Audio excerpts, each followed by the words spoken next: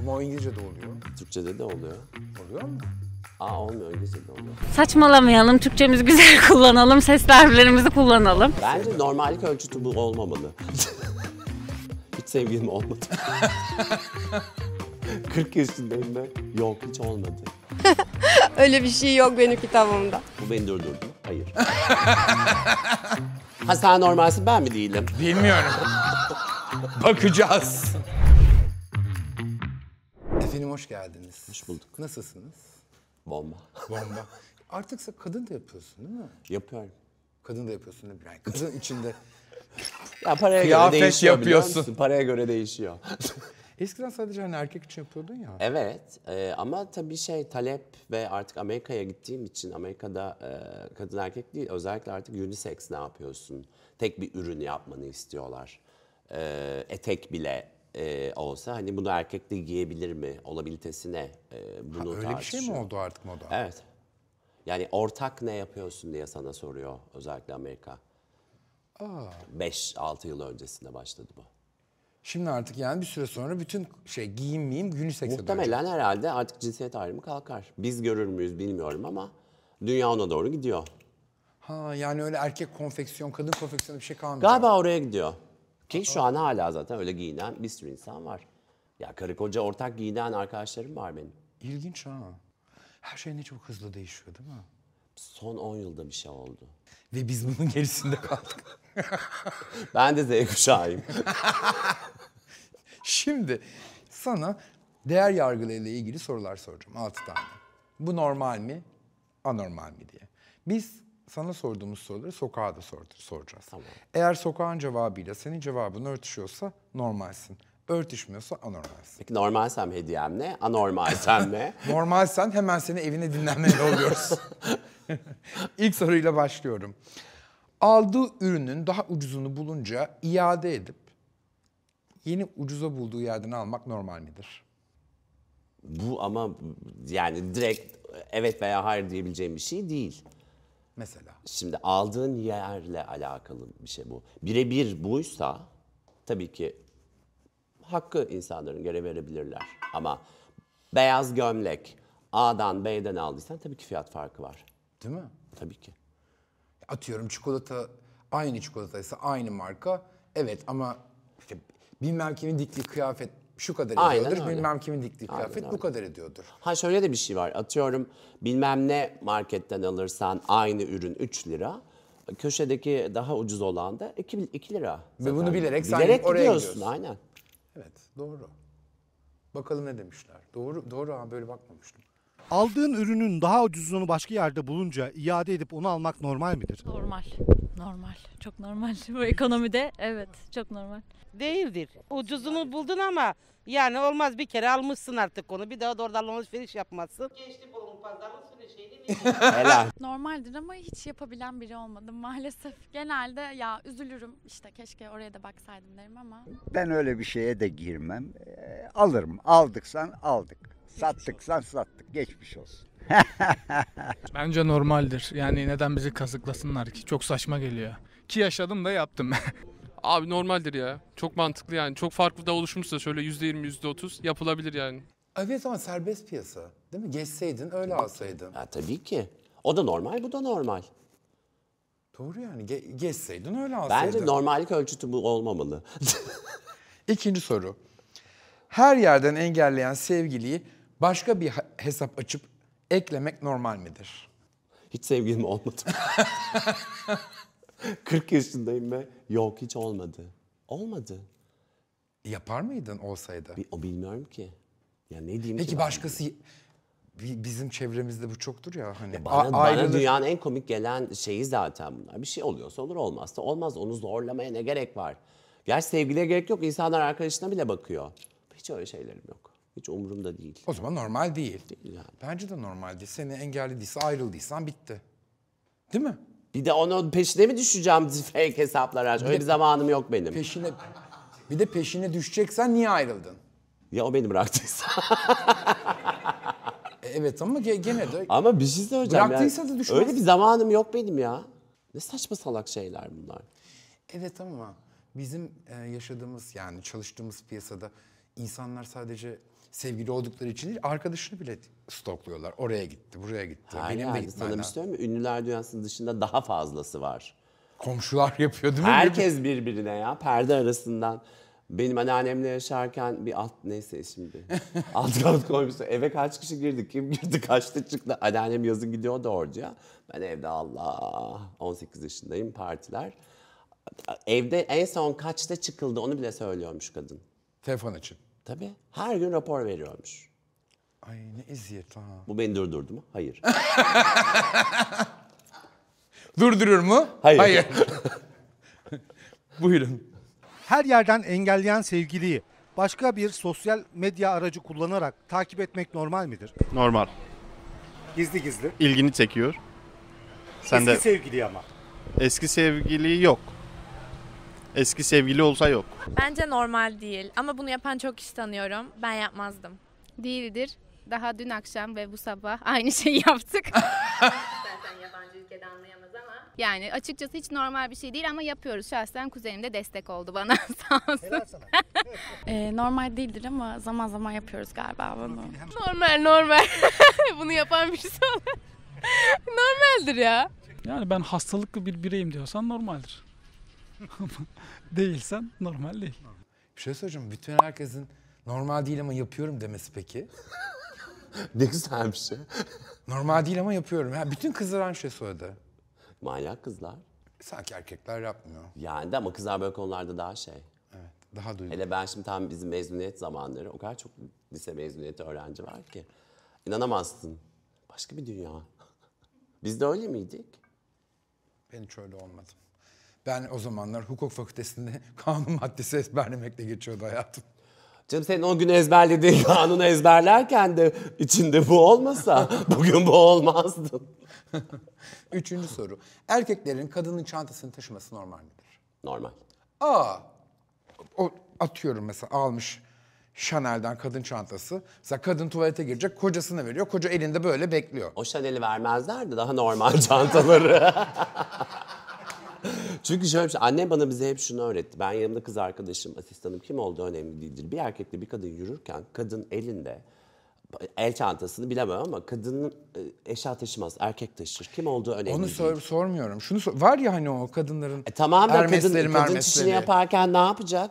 Evet ama mesela şöyle hani ben ayakkabımı ne bileyim üstümü bağlayacağım al adam alıyor elinde konup kadının üstünü bağlıyor. Çok acayip Ne yani. yapacak? Yere mi koysun?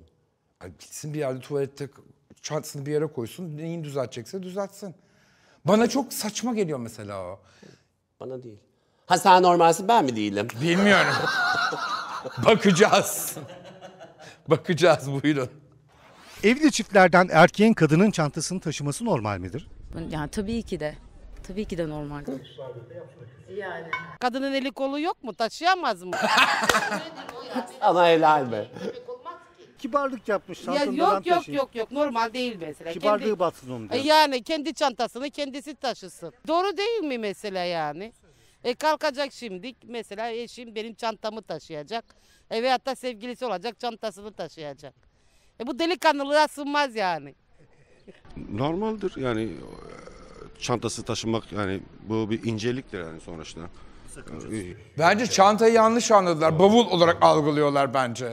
Yeri geldi mi yor, yorulur, yürü, yürüyüş yapılıyor ve ne bileyim.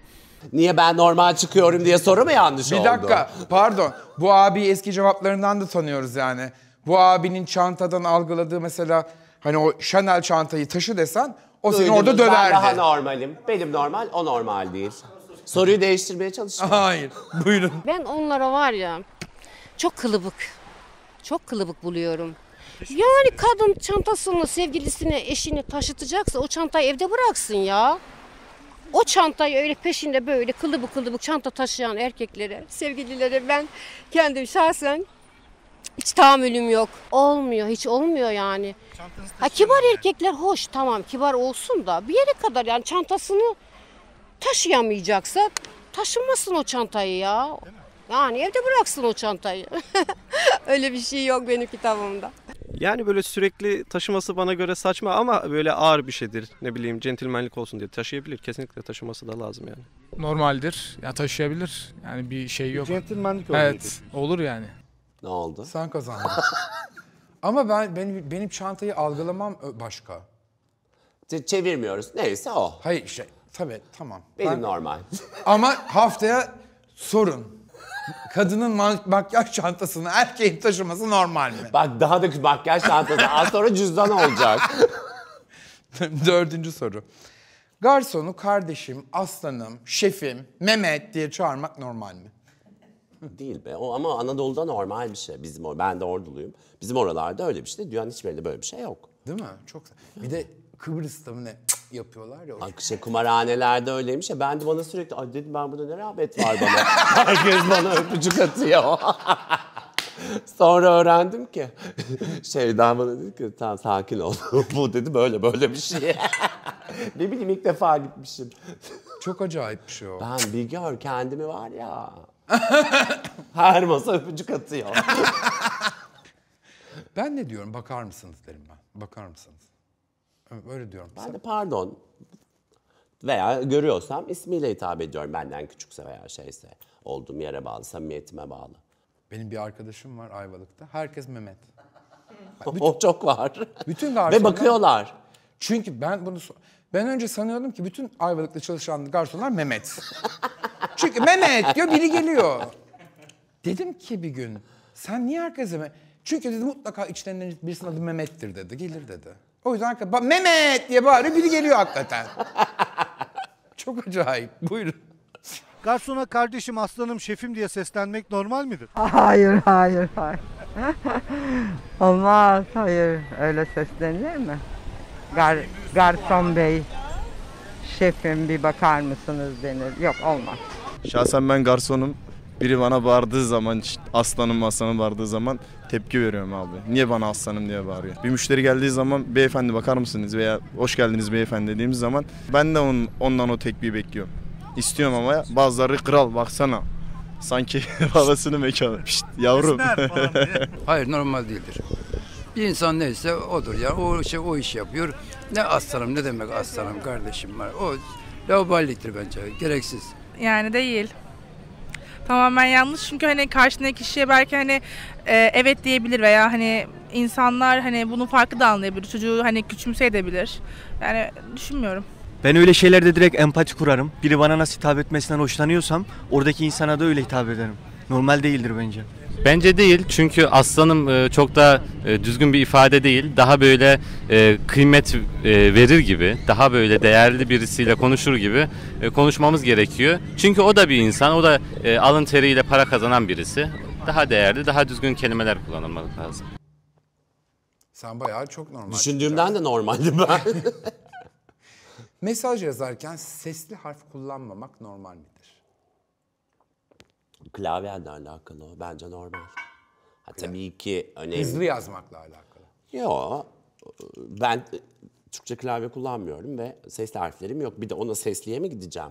E niye Türkçe klavye kullanmıyorsun? İngiliz, Amerikalı iş yapıyorsun diye. Ne bileyim hep o şeyden değil yani ilk günden beri hep klavyem hiç Türkçe olmadı. Bilgisayarımda da olmadı.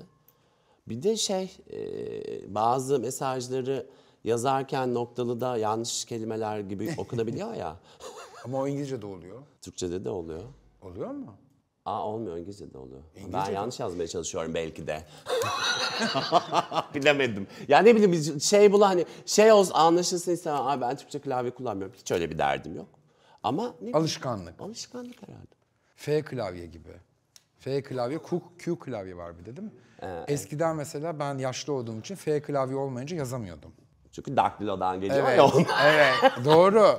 Şimdi Q'ya da alıştım ama. Ama mesela eskiden... Ben, ben o tip şeyler hiçbirine alışamıyorum.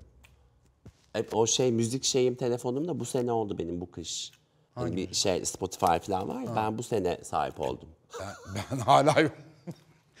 dün, dün müydü? Yolda gelirken Spotify'dan bir şeyler çalıyorum. Reklam çıktı. Aa Armağan Bey siz üye değil misiniz dedi. Ne üye değilim? Üye mi olmak? Bir süre sonra dedim başladı. Spotify ka- kapanacak mı yani? Bitecek mi? Yok reklam çıkıyor ya dedi. Başkasının yanında açmayın. Çok ayıp dedi bana. Bana ben de öyle edindim. Ama ben hala Reklam dinlerim ne olacak ki para vermektense dinlemiyorum. dinlerim ne ki Ay, yani. Hayır. Aa. Bir şey izlerken de kesilsin izle- istemiyorum ben. Çünkü hayatım iki dakikada bir kesiliyor. 20 dakikalık bir şey izliyorsun 5 kere. Bir de Evet ama çok seyrediliyorsak bizim suçumuz ne? ama zaten parayla üye oluyor. Eğer premium varsa premiumda zaten şey reklam Tamam işte çıkmıyor. onun için ben de pre- premium oluyorum. Bizim e, videoların altına hep yazıyorlar. Çok reklam çıkıyor Armağan Bey, çok reklam çıkıyor Armağan Bey. Evet ama hem beleş seyredeceksin hem reklam seyretmeyeceksin. Nasıl olacak o? Doğru. E, Nasıl tamam, olacak yani? ödüyorum. Ha, Doğru. istemiyorsan reklam seyretmek, Doğru. bastırırsın e, YouTube Premium'a parayı, alırsın, seyretmezsin. Ama hem beleş olacak hem reklamsız Yok yok olacak. doğru söylüyorsun olmaz. O nasıl olacak yani? Sonuçta buralar öyle boş boş dönmüyor. Yani kim ödeyecek şu 60 kişilik ekibin parasını? yani. Mesela bana sorsan sesli harf kullanmamak normal değil, anormal. Ama şimdi sen avukatsın. Senin için hani konuşmak, yazmak bunlar çok önemli şeyler. Bir anlamaya çalışıyorum ondan sonra. Yani daha zor. Ama bak dediğim gibi sen buradaki normal normalin üstündesin. Soralım herkese. Ne? Sesli harfle Sen kullanmak o normal. konuda daha hani dikkat ediyorsundur. Aa.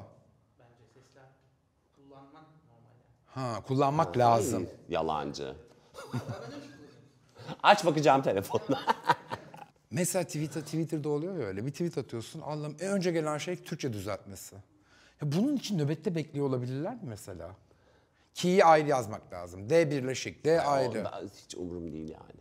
O an çünkü o an bir şeydeki böyle hafif atarlı bir şey yazıyorsam onu yazana daha da atarlanıyorum o zaman. Ben orada ne o ki'yi görüyorum ne noktayı Ne virgülü D'yi ne görüyorum. D'yi. Buyurun. Mesaj yazarken sesli harfleri kullanmamak normal midir? Yani daha anlaşılır olması için bence normal düz yazmak daha gerekli. Yani önemsemediği anlamına gelir karşısındaki insanın. Ben de öyle yapıyorum ama yani kö- kötü bir şey değil bence normal. Herkes anlayamıyor. O kadar geliştik mi acaba? Bu benden. Değil ya. Ee, Normalini her şeyin yazmak gerekir.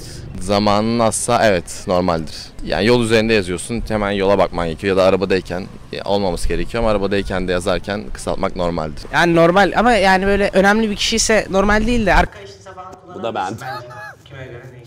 Kesinlikle sinir Türkçeyi düzgün kullanamamasına sinir olurum. Öyle saçmalamayalım, Türkçemizi güzel kullanalım, sesli harflerimizi kullanalım. Baya kadın kamu spotu gibi.